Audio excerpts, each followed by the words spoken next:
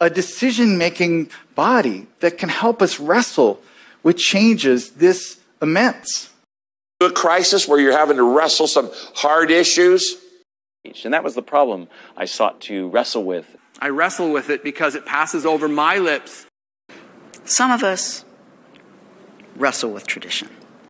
Sure, I was disappointed I didn't get to wrestle, but and then when you wrestle, not with flesh and blood, but against despots, powers, and master spirits, you're